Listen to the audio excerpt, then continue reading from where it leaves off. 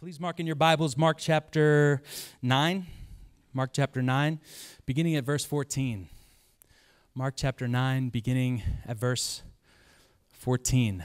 Um, we are in this space where we're coming down off this mountain where uh, Peter, John, and James just saw a transfiguration take place.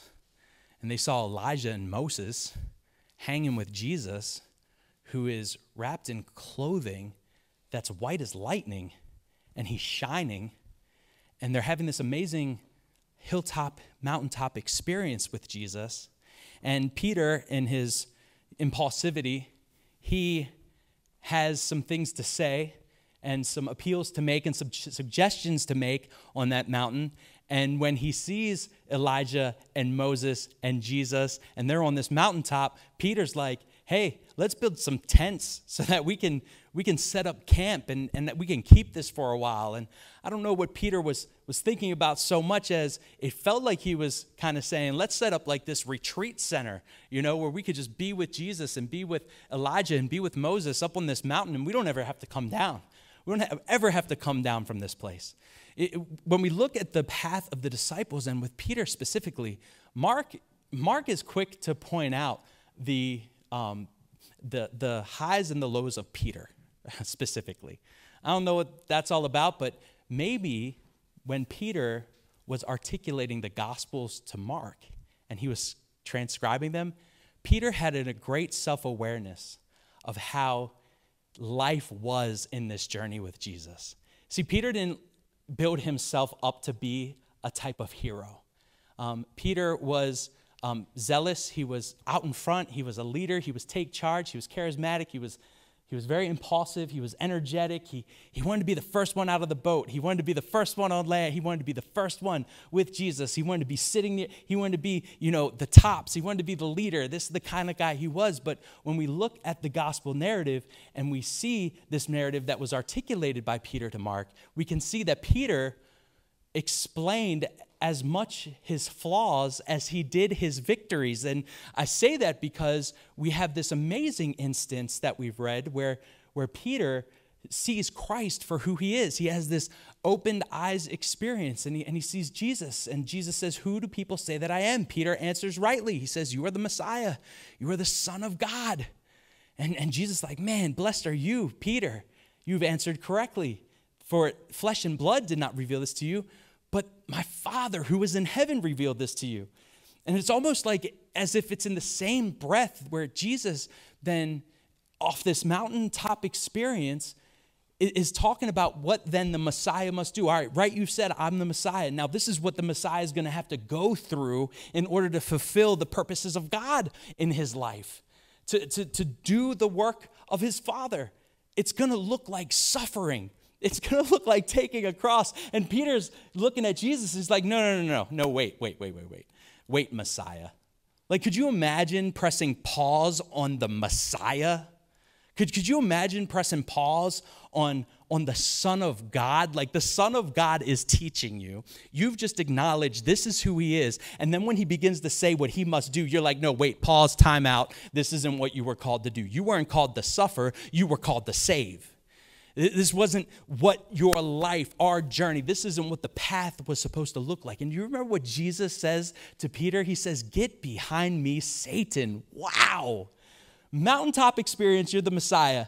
Jesus says, the Father has given this to you, blessed are you. And then in the same breath, get behind me, Satan. The, Jesus is calling Peter Satan for, for wanting to throw him from his ministry calling.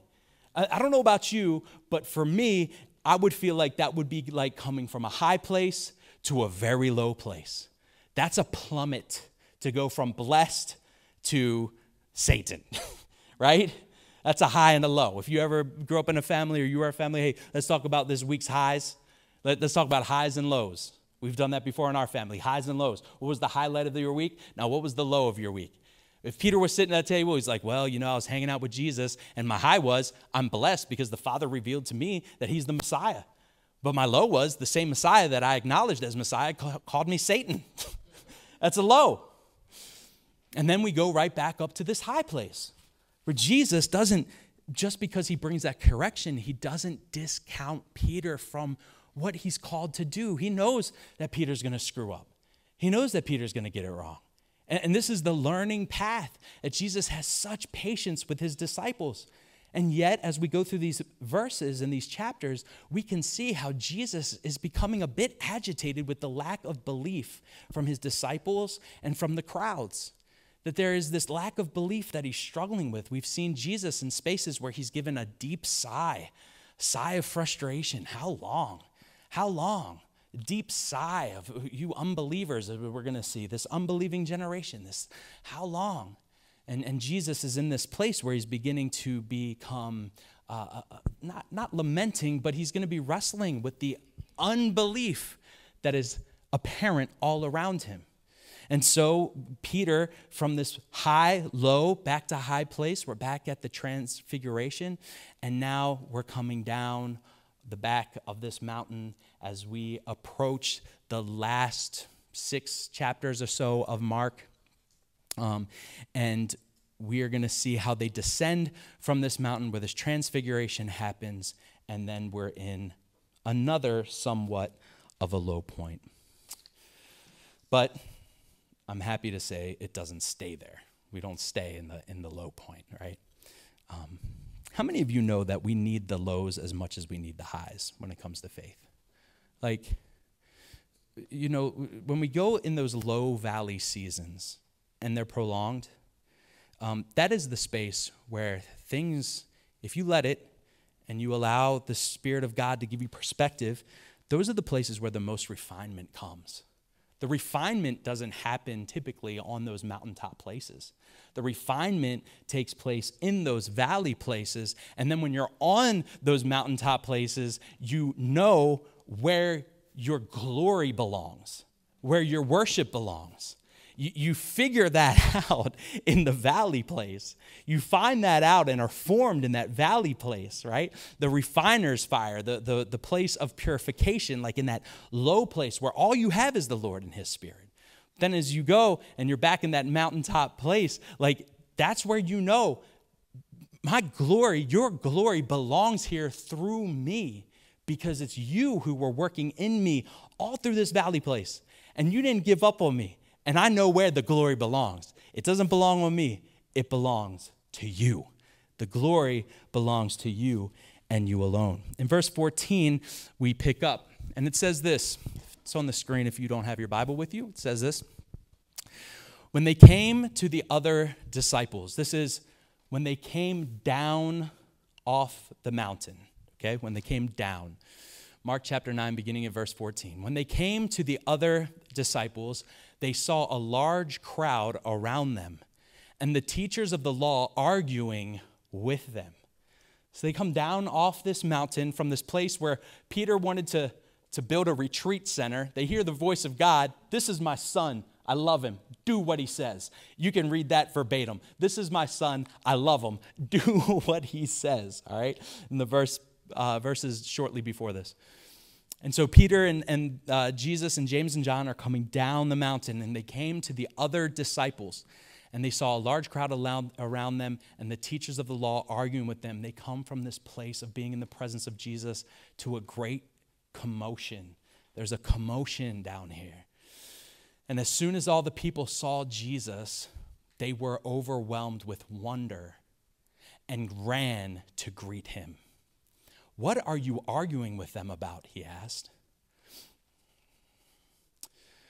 A man in the crowd answered, Teacher, I brought to you my son, who is possessed by a spirit that has robbed him of speech. Whenever it seizes him, it throws him to the ground, and he foams at the mouth, gnashes his teeth, and becomes rigid. I asked your disciples to drive out the spirit, but they could not. You unbelieving generation, Jesus replied, How long shall I stay with you? How long shall I put up with you? Bring the boy to me. Dear Lord, we praise you and we thank you for your word. Let it come as you will it, according to your righteousness and wisdom. We pray. Teach us, Lord. Amen. Amen. So, this is a narrative that, that spans more than what we've read.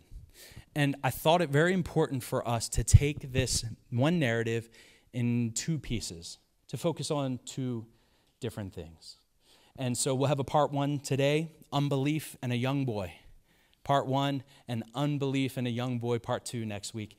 And we'll clear out this, uh, this pericope of scripture. But I thought it very important for us to focus um, on these uh, first few uh, verses of this chapter from 14 to 19, where we can really dive into the condition not of the boy so much because i think a lot of us can can just skip right to the condition that is so glaring. It's a condition that is so glaring. We have a boy who is demon possessed He's gnashing his teeth. He's throw, being thrown to the ground. He's foaming at the mouth. He's convulsing. He's contorting his body. And as the father explains in the latter chapters, not or in the latter verses, not only is he doing this, but whenever there's water, the demon compels him to throw himself into the water to be drowned or to throw himself into a fire to be burned if there's fire. Uh, and so this is a boy who is under the control of demonic forces. And this father is at his wits' end. That is the glaring uh, truth. That is, that's what's staring us in the face and screaming at the top of its lungs uh, when we enter into this scripture.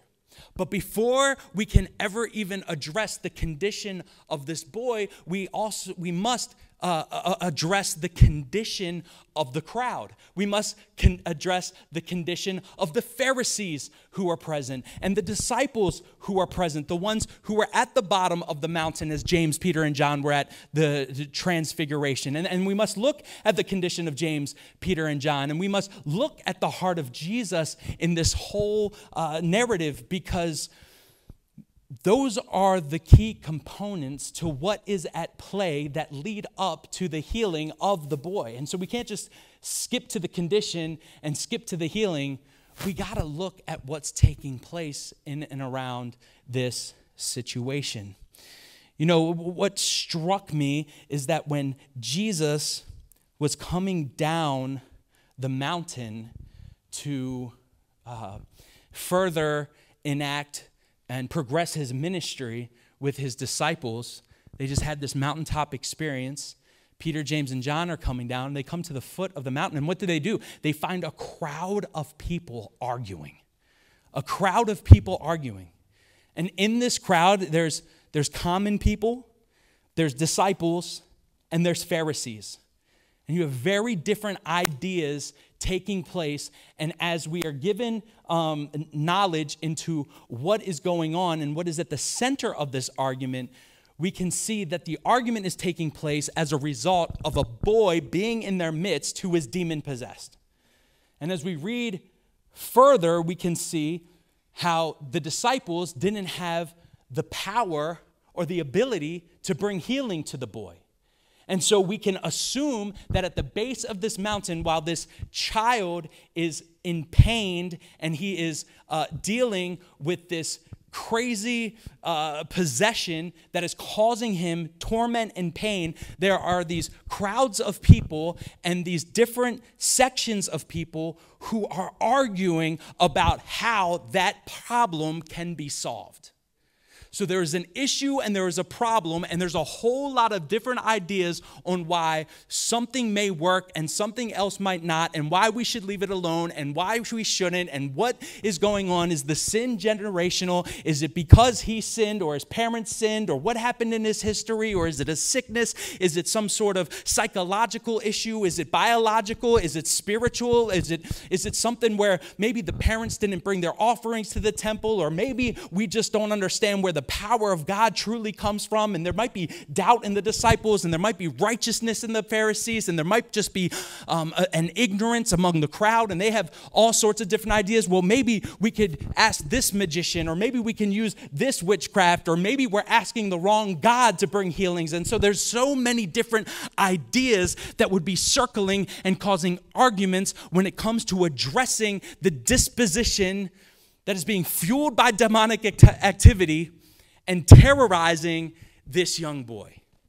There is so much noise and commotion that would be taking place surrounding the condition of this child. And they're at the base of a mountain and they're talking about all these things that circle and circle and circle. And that one person begins to speak to another. What did he say? What did the priest say? Oh, what did the, uh, the scribe say? Well, they know the law. What does it say about demon possession?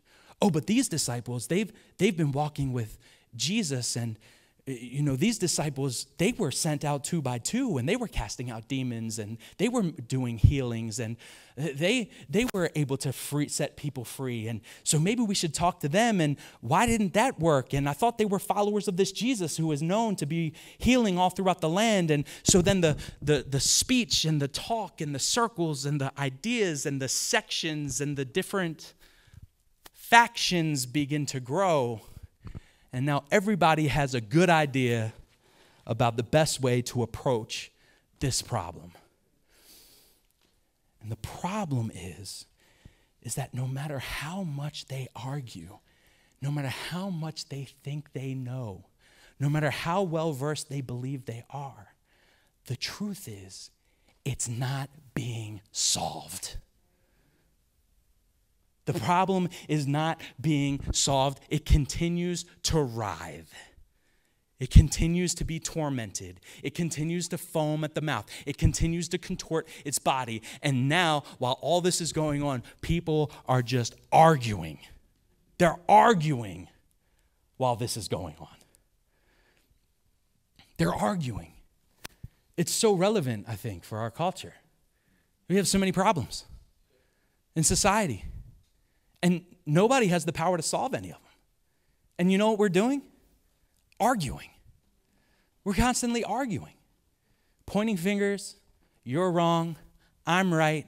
This is how we solve it. This is how it should be. This, and we have these great build-up ideas, and there are so many divisions happening. Even now, guys, we're in an election year, and it's just to come to that. It's to be as loud as ever. It already is loud. And we have every choose a side. What side are you on? How are we going to solve it? And all we're doing is arguing as the problems continue to writhe, continue to foam, continue to fester.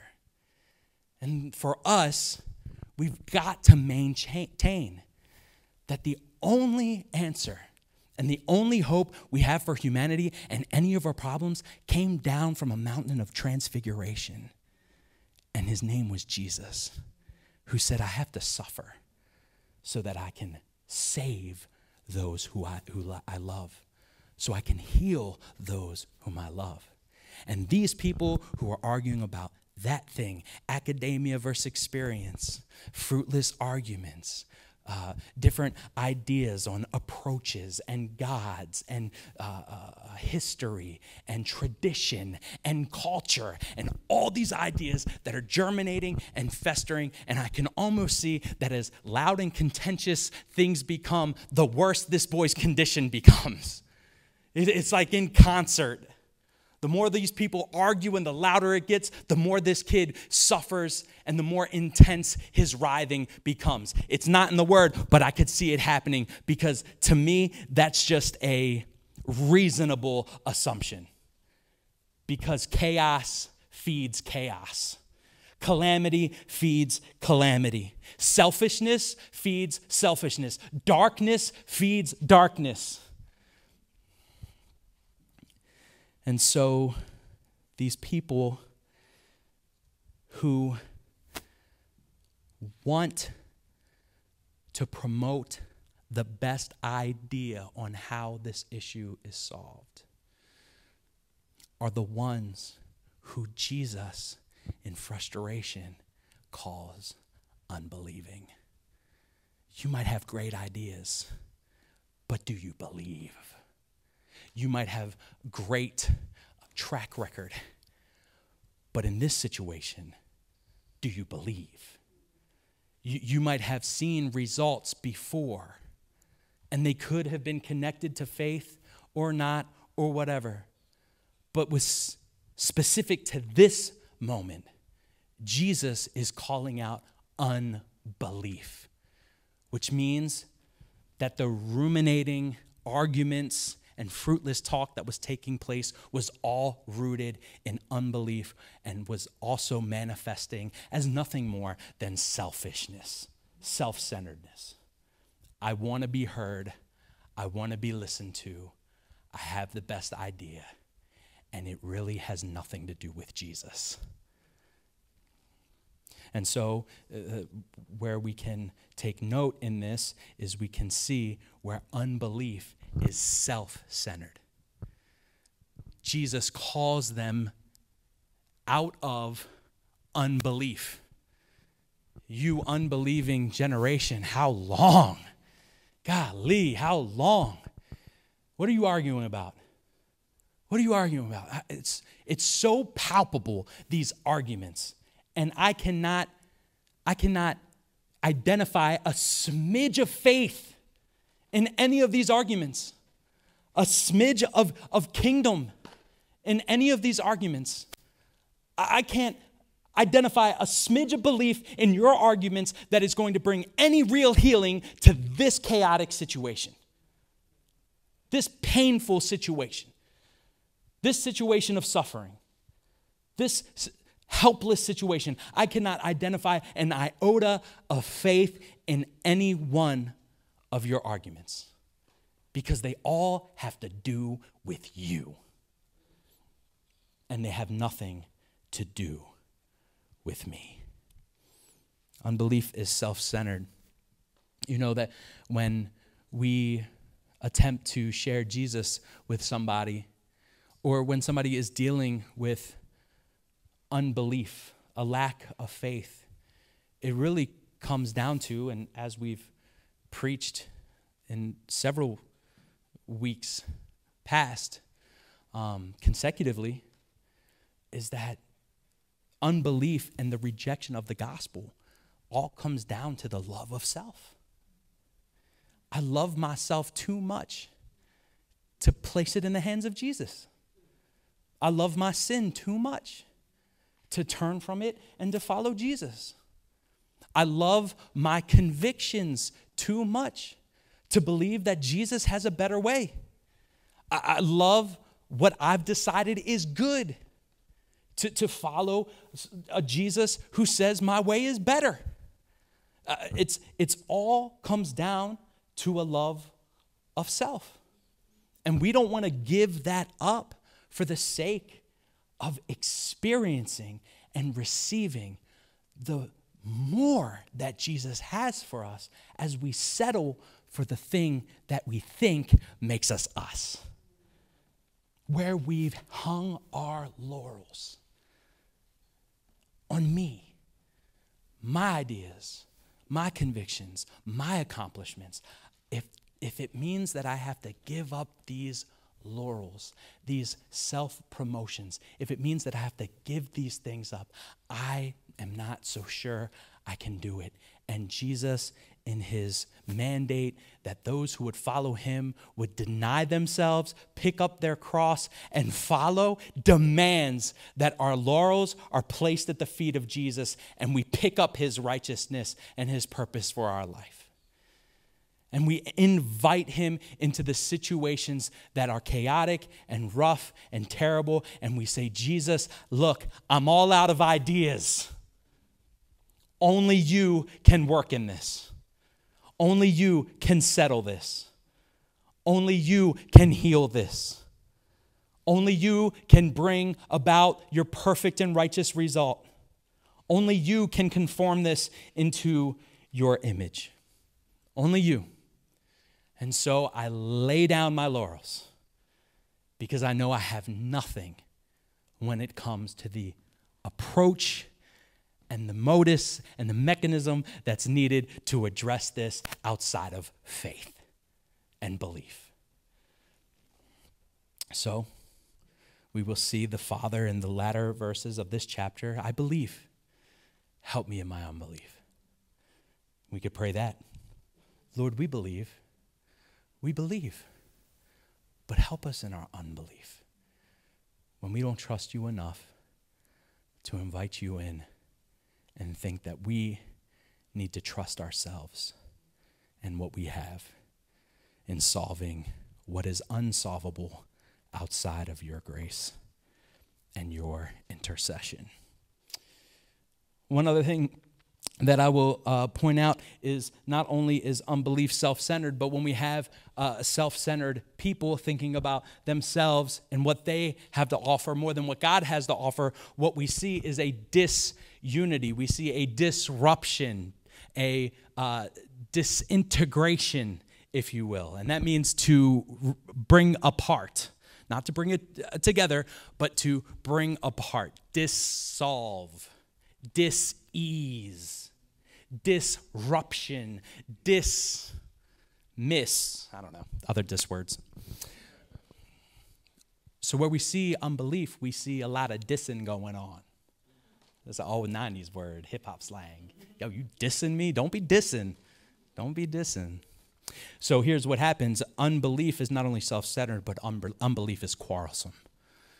It's quarrelsome.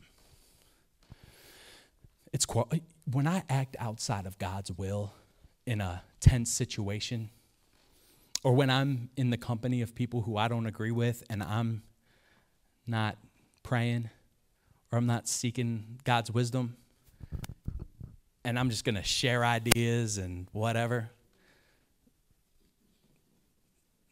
I know it doesn't work to bring anything together.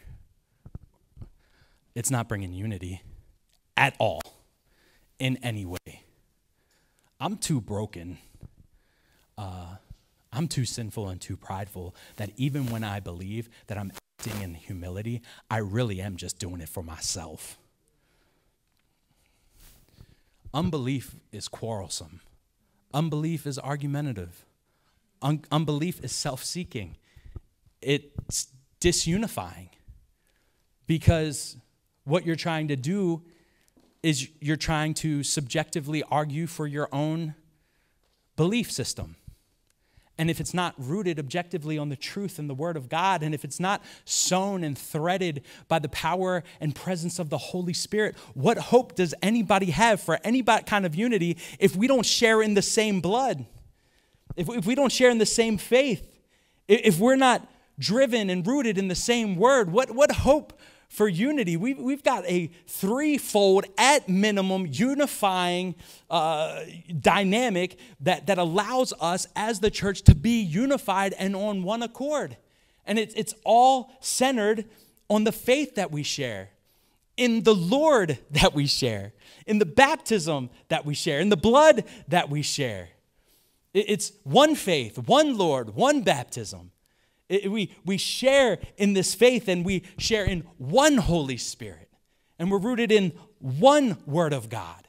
How can we fail? And, and, and yet we have so many sects of division and denomination, even in the church. Because at some point, we dismiss the main things and the plain things and we start to get so overtaken by the peripherals and the preferences of how we believe church should be, and we allow that to take root and drive us in our own directions and bring people along. But if we are truly planted in God's word, if we do share in his spirit and we are baptized in his name and we are a part of this one church under the lordship of Jesus Christ, this is where unity comes. This is where unity lives. This is where we see that the only answer that we have to our condition of brokenness and what is going wrong in this world, the only answer that we have is Jesus, well, if we start there, then maybe there may be some hope for some healing and restoration as a people, as a church, as a society. We call on the name of the Lord Jesus Christ as our Lord and Savior. He is our Messiah. So, unbelief is quarrelsome. You don't have to look far to see how many fights and uh, fruitless discussions and debates are happening um, devoid of God's presence in our society. You don't have to look, for, look wrong. Just turn on Facebook. You'll see it in a minute. You'll see it in a minute. But belief, as we see, Belief is Christ centered.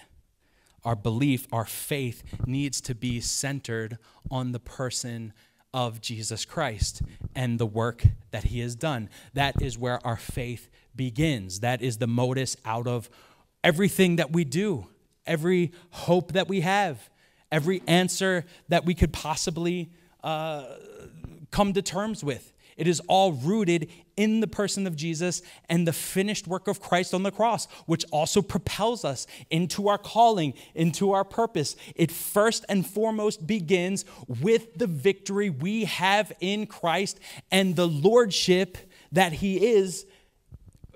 The lordship that He is to us, the Lord that He is to us. He is Lord.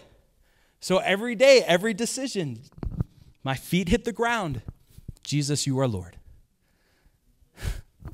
Jesus, you are Lord.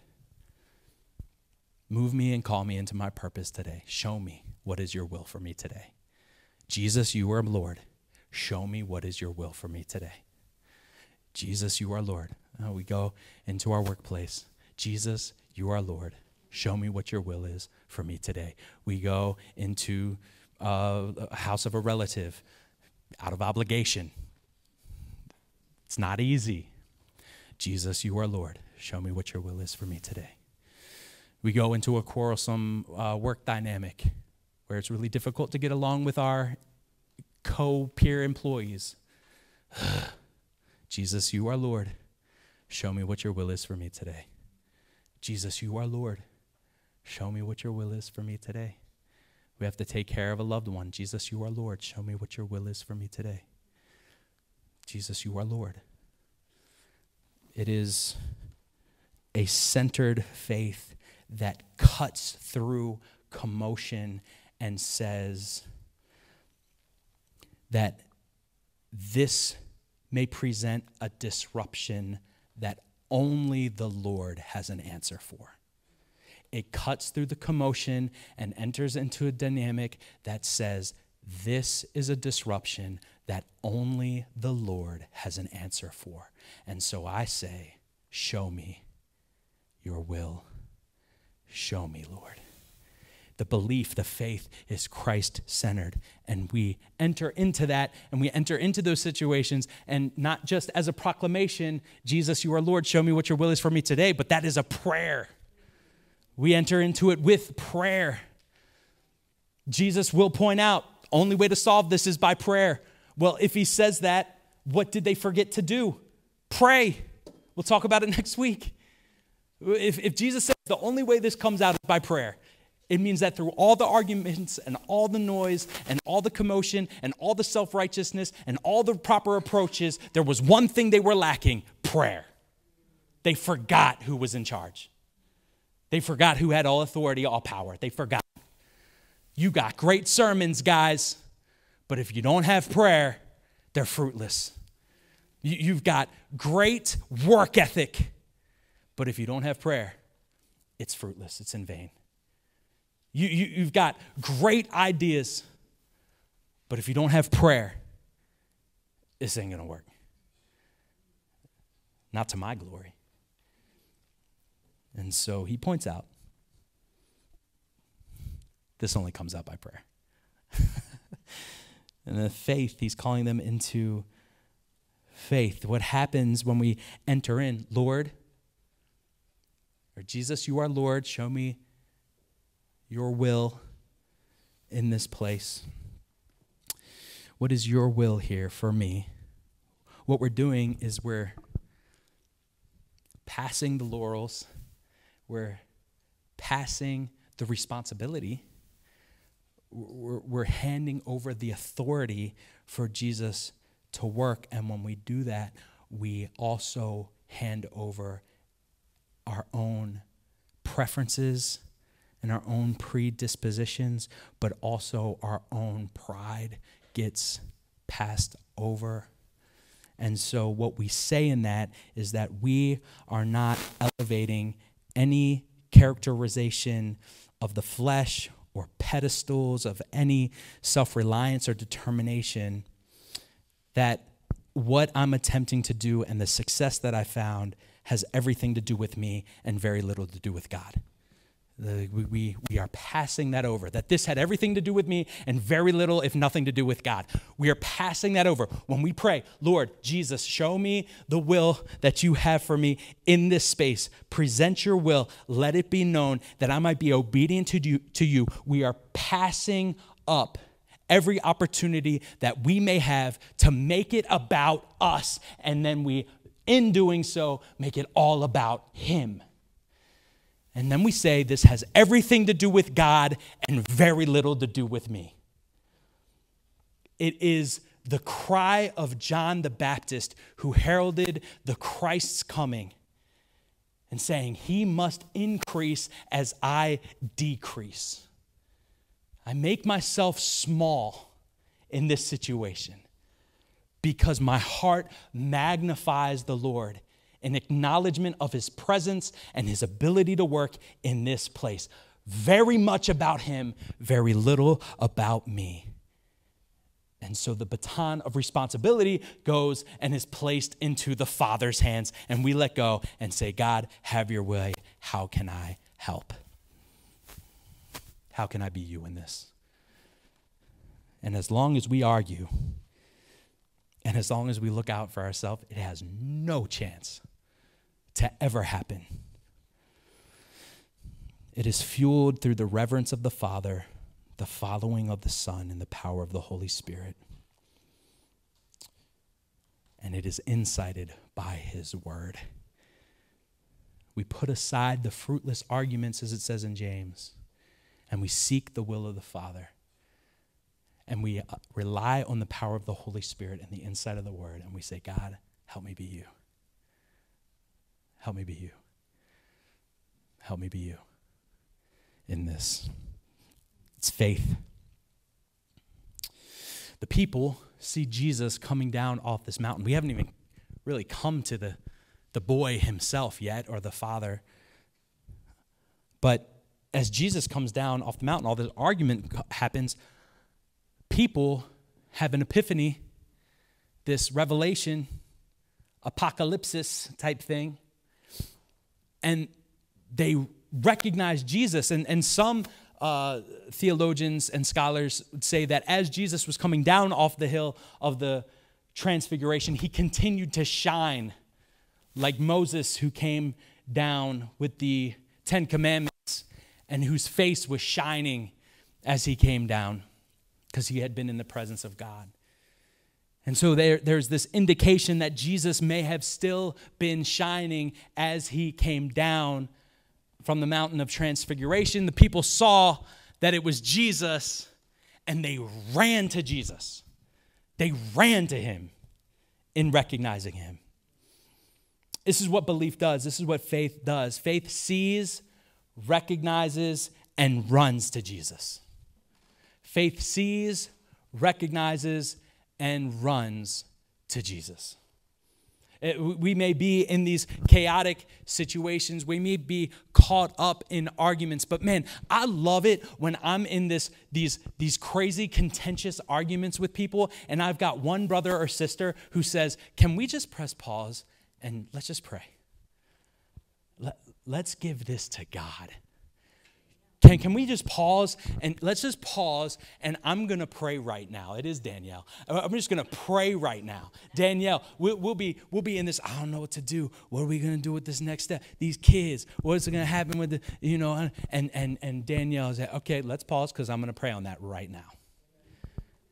We see in the midst of the calamity where we're so caught up in this, this kind of circulating, cyclical, uh, what about this and this agitation and this idea and this anxiety? And I'm going to talk about this and now I'm caught up. But they said and he said and hypothetical and this rumor and that, and, and, and we get all caught up. But then you have somebody who sees and acknowledges and runs to Jesus. He, he sees and recognizes and can cut from the noise and this fruitless stuff that is only compounding and creating more craziness can cut through that and say, hold up, I see, I see Jesus we recognize as Jesus as Lord. So guess what? I don't know about y'all, but I'm going to run to Jesus. You going to run with me? We see and we recognize and we run to Jesus with all of that anxiety, with, with all of that those those uh, distractions, with all the we run to Jesus. We place them at the feet of Jesus. We see, we recognize, and we run to Jesus, and we leave that behind and we put it at the feet of Jesus. And we, we just there's there's this there's this preemptive attack and this preemptive posture that we can take on these disruptions, on this chaos, on this, this, these conditions that we're dealing with, um, th- these distractions. There's a preemptive, there's a preemptive posture that we can have. And it's reiterated in the prayer Jesus, you are Lord. What is your will for me today? The prayer gives us the ability to remember who our Lord is when we're being taken by the hand of the chaos. Chaos is taking us by the hand, but I wasn't created to follow chaos. I was created to follow Jesus. And so we have to prepare our hearts. You know, oftentimes when um, we are most anxious and most given into anxiety, it's when we've forgotten preemptively planning, fail to plan, plan to fail when we've forgotten in our planning the first part of our agenda, when we've forgotten who our Lord is, who's in control. It's Jesus. And so we get caught up and we forgot Jesus. And now what am I doing? I'm writhing and I'm foaming at the mouth.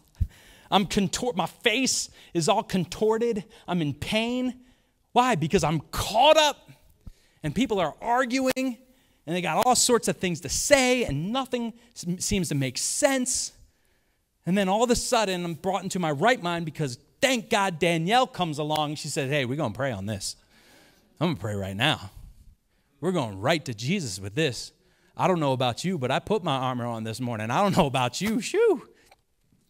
And you say, Oh, thank God for bringing me into my right mind. Thank you for reminding me who my Lord is. Thank you for reminding me that this thing is only solved by prayer. And you know what I love is that that act right there is the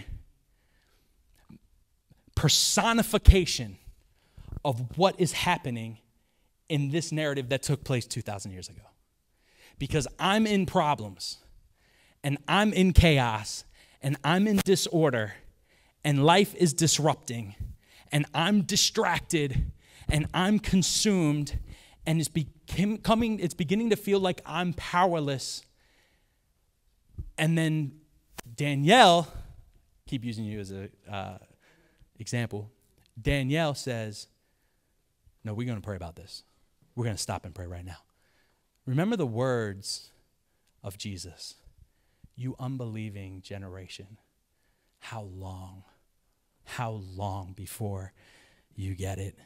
How long should I put up with you? You unbelieving Luke, Luke, you unbelieving person. You unbelieving, sweet, unbelieving child who just, you want to do so good, but you just keep forgetting you just I, I love you so much. You just can you but can you just stop getting sucked in? How long? How long you gonna let this get the best of you? How long you gonna give yourselves the ideas? And I'm in this, and this is ruminating, and it's churning, and I don't have any answers, and I'm doubting, and all this stuff, and I'm contorting, and I'm tight, and the anxiety, and I just, uh, uh, and I'm gnashing my teeth. Anybody? And then the one who knows the answer comes and says, We're going to Jesus. The personification of what happens in this. How long, how long, how long, you unbeliever, how long? Next word, bring the boy to me. Bring the boy to me. Going to Jesus, seeing, recognizing, And going to Jesus, running to Jesus, is the personification, the demonstration of what happened 2,000 years ago. How long must you unbelieve before you bring it to me? How long?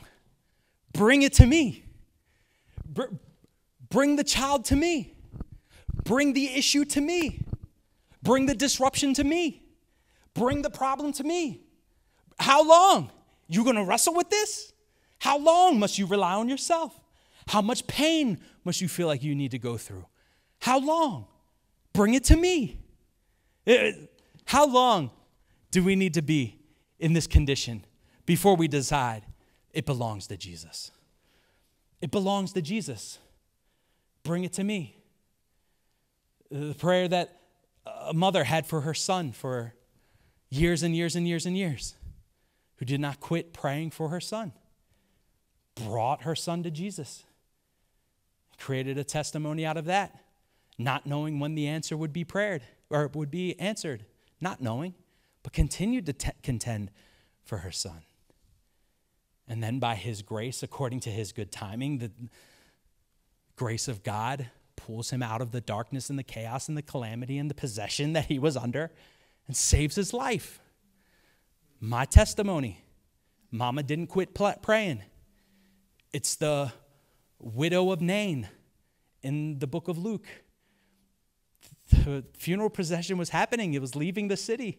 Jesus met the funeral procession at the gate. A widow had just lost her son, he was about to be buried. Jesus Christ raises him from the dead. And in the scripture, it says, and he gave him back to his mother. Bring it to Jesus. It belongs to Jesus. How long? How long till we say, I'm done relying on myself? Oh, yeah, I've got responsibility, but I'm done thinking I can do it alone. So I'm giving it to you. It belongs to you. It's out of my hands. It's not mine, it's yours. Faith, belief brings blank to Jesus. It's a repetitive theme through this entire narrative.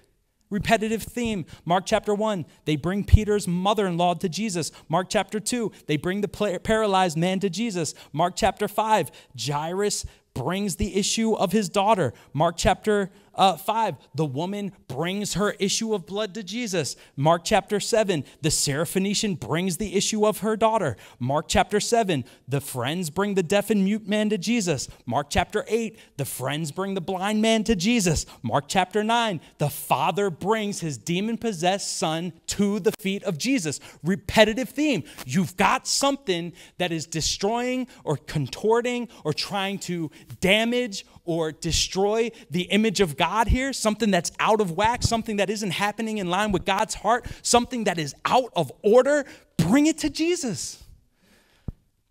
We bring it to Jesus because Jesus is the only one who restores his image on that which the enemy attempts to disrupt, distort, deform, or destroy.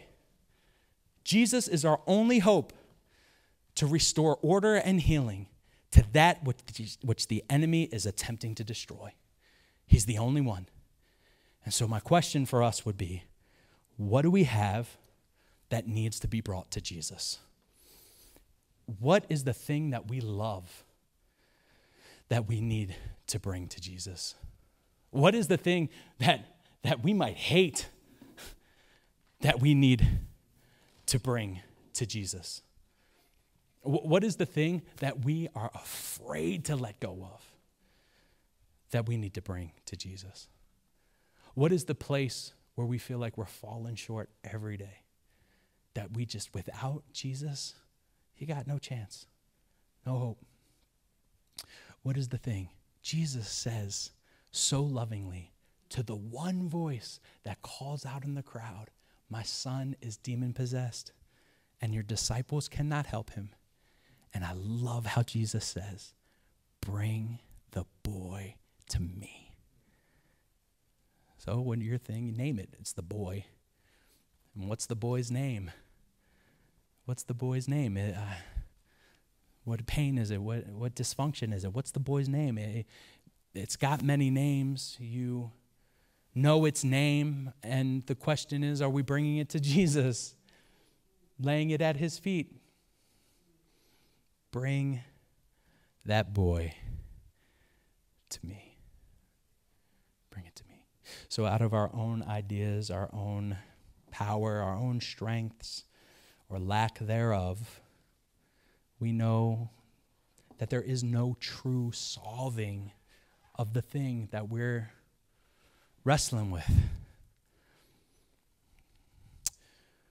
But Jesus promises us that if we will bring it to him and we lay it at his feet, that he will take it up and he will be with us in the trouble. And by his Spirit, and according to his Father's perfect plan, he will bring exactly what we need in that given moment, in that given place. And it's not always in line with what we want, but I guarantee you it'll be exactly what we need. Because God does such incredible work refining us in the valley as much as He does on the mountain. Amen. Amen. Let me pray for us, and then um, we'll have our final benediction. Dear Lord, Heavenly Father, we thank you and we praise you for this morning. Lord, help us um, today, today, to bring you the boy. help us to bring you the thing that is troubling us, the thing that we've been wrestling with, the thing that seems out of control, the thing that's causing dis-ease. Help us bring you that which we know is not in line with your will. It's it takes a lot for us to be willing to do that. But Lord, I pray that you would give us the faith, the faith that it takes to surrender those things to you and to know that without you, there is no relief. There is no answer. We can't do it on our own. We don't have what it takes. So, Lord, help us to invite you in and to set things straight. We thank you, Lord. In Jesus' name, amen. Amen. Please rise and we'll have a final benediction. Our family verse comes from Isaiah 60, chapter 1. Surprise, surprise. Love this verse. And it says this Arise, shine, for your light has come, and the glory of the Lord has risen among you. Arise, shine, for your light has come, and the glory of the Lord has risen upon you. Arise, shine, for your light has come and the glory of the Lord has risen upon you. Rise City Church, I pray that you arise and shine this week as you begin your day with Lord Jesus, you are Lord. What is your will for me today? I pray that you would invite Jesus into every dynamic of your life, knowing He is the only one who can bring healing and perfect peace to any given situation. Be blessed and be Christ this week. Amen.